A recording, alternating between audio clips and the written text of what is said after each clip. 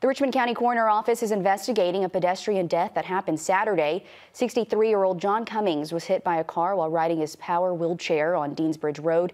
He was taken to Augusta University Medical Center where he was pronounced dead. No autopsy has been scheduled.